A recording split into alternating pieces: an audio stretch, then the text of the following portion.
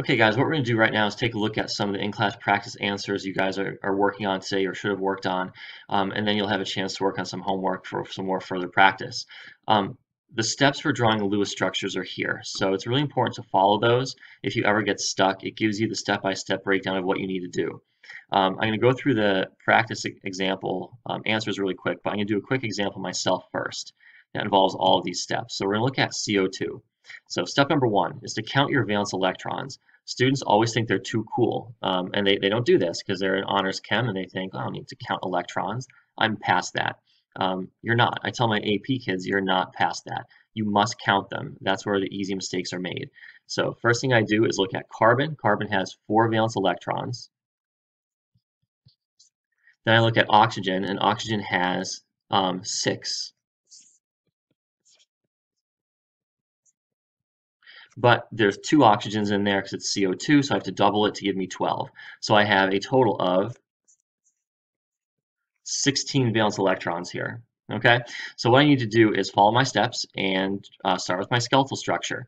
So I'm going to put the least electronegative element in the center, or it's going to be the element that makes the most bonds, which is going to be carbon that makes four, um, or it's going to be um, use common sense. Okay, there's only one carbon. Well, okay, that's going to go in the middle. Put your oxygens around the outside. You don't need to worry about the correct shape just, just yet. You'll learn about that in a future lesson. Um, but then we want to put single bonds from the central atom to each of the surrounding atoms. So let's do that. Single bonds count as two shared electrons. Okay, so we have two shared electrons here, two shared electrons here. They're kind of moving around those regions, kind of holding the carbon and oxygen together. Um, look at how many electrons we've used so far. Each single bond counts as two valence electrons or two electrons, I guess. So we've used up four electrons out of our 16. We have 12 left. So what you want to do is put the rest of your valence electron pairs around the outside first. Okay, so don't start on carbon, start on the outside elements. Um, you're going to start on the elements with the higher electronegativity, which is oxygen here, because higher electronegativities want electrons more. So I'm going to put them around and we're going to count. Okay, that oxygen now has an octet. That's again what we're trying to do here. So we have eight electrons around this oxygen, and we've used up two, four, six, eight, ten. Ten electrons so far. Let's give this oxygen an octet. Okay, count up your electrons. You have 2, 4, 6, 8, 10, 12, 14, 16. Fantastic. We need 16 electrons. So it looks like we're done. However, Step 5. If not all of your atoms have an octet, swing in an unshared pair to form a double or triple bond. So these lone pairs on oxygen here and here belong solely to that oxygen. Okay, so this oxygen has 8, this oxygen has 8. Um, so those are good. This carbon though in the middle only has 1, 2 from that bond, 1, 2 from that bond. 4 electrons total. We need 8. So what we can do is, like we can't, we can't just do this. Students do that all the time, and that goes back to what I said. They think they're too cool to count electrons. You should have 16. They're like, oh, easy. I'm just going to give everything an octet. I'm just going to live my life and do it that way. Um, well, then you're going to get lots of points taken off because if you count your electrons now, the structure as written has 16 electrons in, or um, 20 electrons in it. Okay, well you're not allowed that. You're only allowed 16. So do not, under any circumstance, do what I just did. Okay, so I'm going to try to erase those. All right. Um, what you want to do instead is swing electrons from the outside in. So I'm going to pick these two electrons right here on oxygen. And instead of having them belong solely to oxygen, let's make them belong to carbon and oxygen. All right. So that's going to create a double bond here. In the previous video from the lesson, um, it showed you how to do this. So here's another two. I'm going to move them in there. Okay, if I just moved in one lone pair to the center, carbon still wouldn't have an octet, right? It would only have six valence electrons. Let's clean this up a little bit and see what the answer is.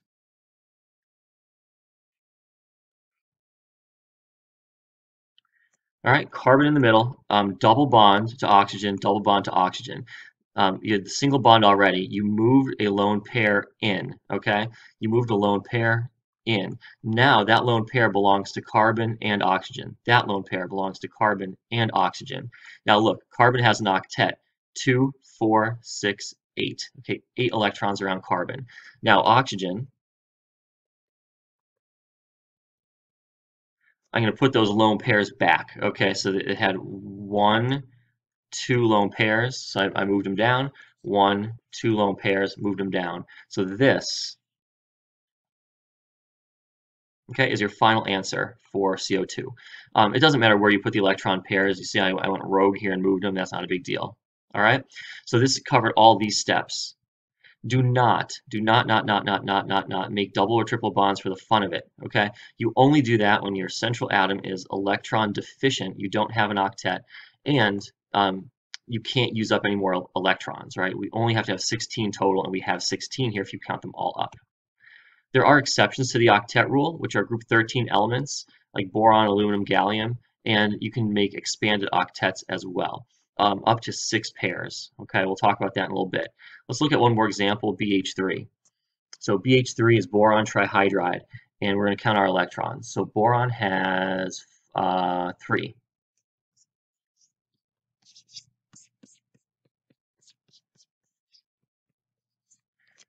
Um, hydrogen has one, but there are three of them, BH3, so that's three electrons total. So add them up, I need six electrons for this whole structure. So let's follow my rules. Um, element that makes the most bonds or, or least electronegative in the center. That's boron. Now put your other atoms around the outside. So I'm back to this step here, okay? Um, put the, draw the skeletal structure and put your single bonds in. Let's do that. We have three hydrogens,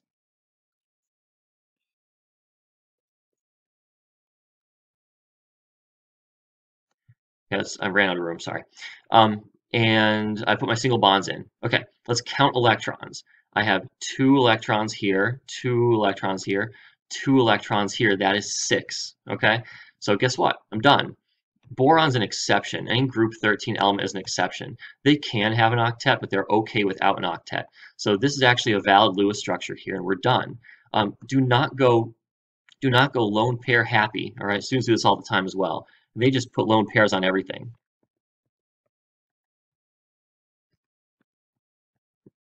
They're like, okay, everything has an octet, and this this makes my blood pressure go up because I only need six electrons, and you look, you have like six million. Okay, that's too many.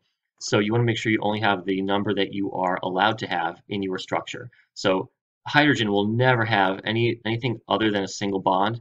Um, this will never happen in a bajillion years. Um, so you want to make sure you keep track of, of your electrons. So pretend all these lone pairs are not here. This is the wrong answer. I had the right answer just a second ago.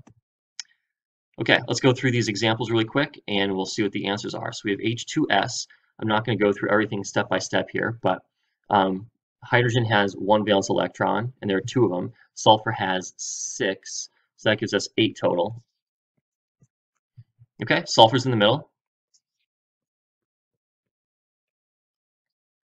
bonded to hydrogens. That takes care of four of our electrons. We do not, not, not, not, not put valence electrons, like extra ones on hydrogen. So we don't, we leave that alone. Um, so we move to our central atom, right? Hydrogen is okay with just two valence electrons through that bond. So I need, I have four electrons here. I need to use up four more. And I am done. Okay, lovely. That is my answer for S or uh, H2S. Uh, so sulfur in the middle has an octet. Hydrogen is cool how it is. Um, life is good. All right, we're going to draw these a little bit later uh, next week uh, or the next lesson or two, and we'll look at the proper shape. This is not how this is normally going to look. This will actually be a bent shape, but um, that is for another day. All right, PCl3, do the same thing. Um, so P is phosphorus, has five valence electrons.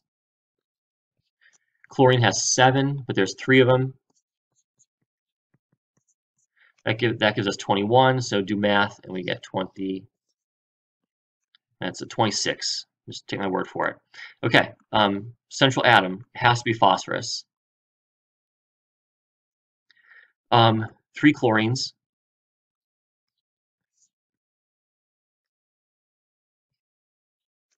Single bonds for all of them. Sorry, this is kind of sloppy. Um, okay, that takes care of two, four, six, six electrons. Now let's go through. We have a lot left. Let's go through and put our um, outside valence electrons on first. Give chlorine octets.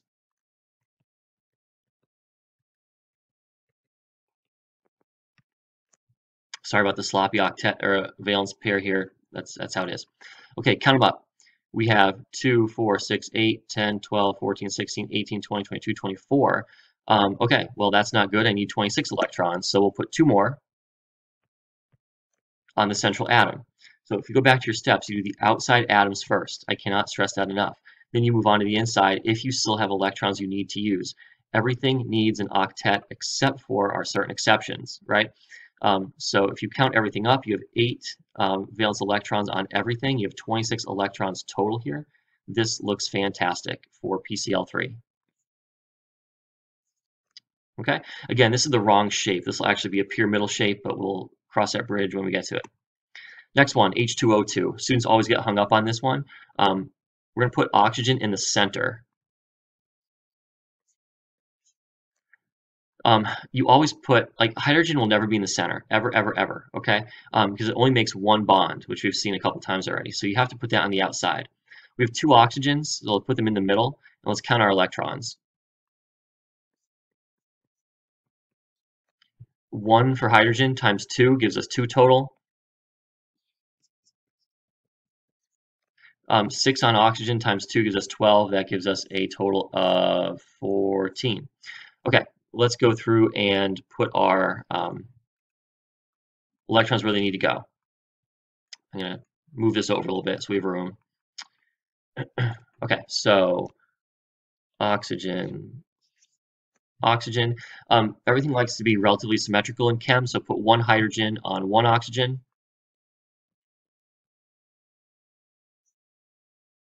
and put one hydrogen on the other one. All right. Um, this will be a weirder shape, but don't worry about it yet. So we have two, four, six, six electrons in use so far. I need 14. Um, so I have eight left. Um, what I need to do here is I, I, can't start on the outside because hydrogen is good, okay? It has its two electrons from those single bonds. So what I'll do instead is um, move on to my inside atoms and go to oxygen. So I have two, four, six electrons so far. That's eight 10, okay, um, that's that's okay because I have an octet now. So I have 2, 4, 6, 8, 10, 12, 14. Okay, lovely. So oxygen has an octet, good to go. Uh, I need 14 electrons total. Um, each hydrogen only wants two. It's satisfied through that bond. So I have 2, 4, 6, 8, 10, 12, 14. So I am done. All right, H2O2 is hydrogen peroxide, which I've done some demos with earlier. Okay, moving on. This one's in your notes. It gives you the general structure already, so it's C2N2.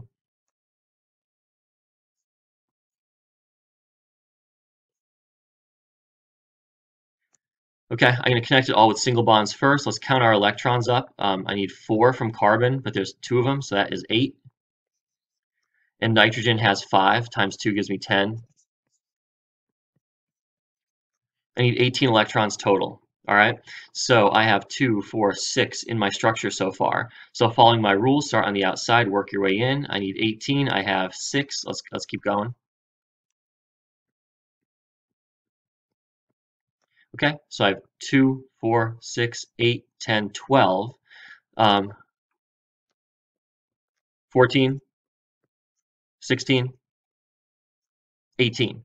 Those are my 18 valence electrons. You're going to say, well, I'm done. And I'm going to say, no, you're not, because you need to follow your rules. Everything needs an octet here. There are no exceptions to the octet rule in this problem. So carbon needs an octet. Nitrogen's good, okay? I cannot, right? Not, not, not, not, not just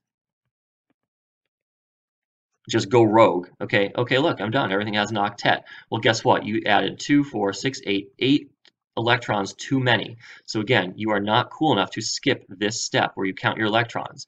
Um, don't get cocky about this. You want to make sure you actually follow the rules and don't exceed the number of electrons you are allowed to have. So what I will do here is try to erase this annoyingly. All right, there we go. Uh, what we're going to do is swing electrons in from the outside. Okay, so let's take a look at how we do that. All right, so let's swing those electrons in and we'll wrap this up. Okay, so let's move in two electrons from there into the, the center. Now you can look at carbon here. Okay, carbon has one, two, three, four. If I move those in, there'll be five, six. There'll be six electrons on carbon. I still need the octet, so I'm going to swing in another lone pair.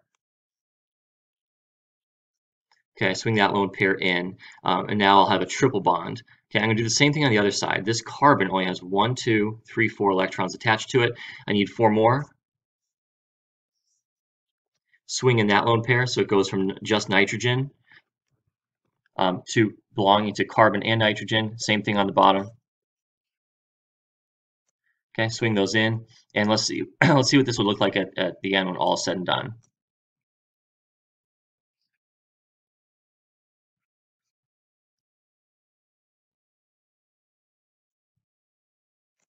Okay, um, so that, that takes care of it. So you can see the triple bond here. I had the single bond you know, in the middle there from my original structure.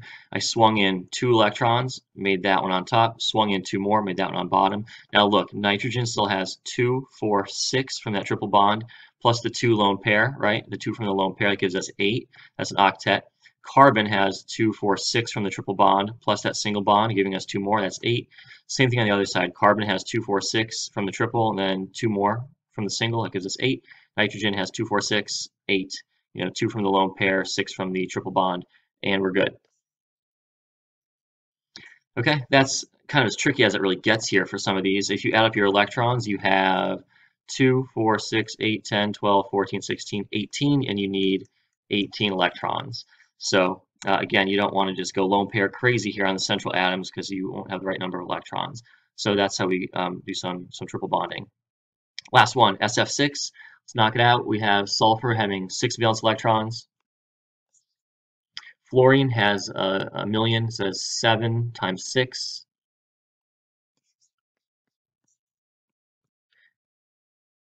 Okay, um, six times seven is, I have no idea, 42. Was that true story? I don't know. Um, okay, so we add them together, 42 and 6 gives us 48. Okay, let's let's go to work. Sulfur in the middle, obviously. Um, six fluorines around the outside. So let's let's figure this out here.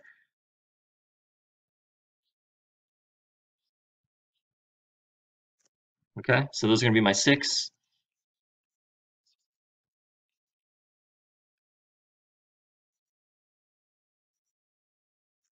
Okay, um, so I've taken care of 2, 4, 6, 8, 10, 12 of my 48 electrons. That leaves me with a lot left.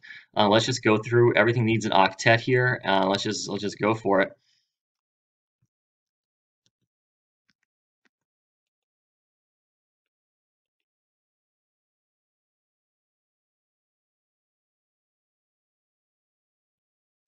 Okay, let's, let's, let's see if this is like real. So we have um, sulfur in the middle and then a single bond and then a fluorine with six um, electrons from a lone pair.